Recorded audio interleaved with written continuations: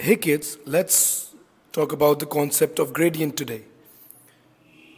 Gradient is basically the steepness of a line. It is also known as slope and is given by the equation change in y over change in x. Gradient can also be written as y2 minus y1 over x2 minus x1. For two coordinates, for example, 4, comma 8 and 16, comma 24. This coordinate a 4, comma 8 can be known as x1, comma y1 and coordinate b can be known as x2, comma y2. Note that coordinates are always in the form of x, comma y. Let's put it in the equation.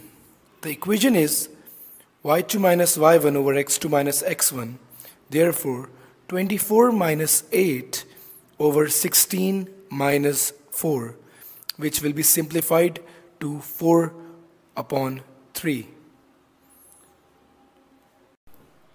In case where I have got a graph, for a basic Cartesian plane, for instance, if two coordinates are given, coordinate A on a graph is represented as 4, comma 3 and coordinate B is 7, comma 2.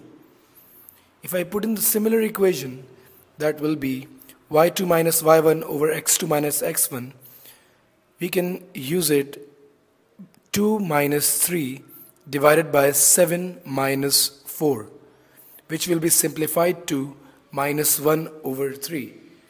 That will be the gradient of this line. Let's conclude a few things.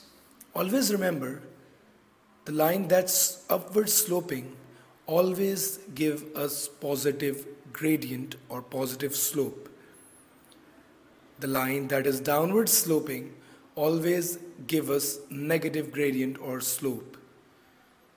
The line that is horizontal. This line has zero gradient and the answer of y2 minus y1 over x2 minus x1 is always 0. For a line that is completely vertical, the gradient is undefined or infinite. That's all for today. Thank you so much for listening to me. If you have got any problems, you can contact me. Thank you.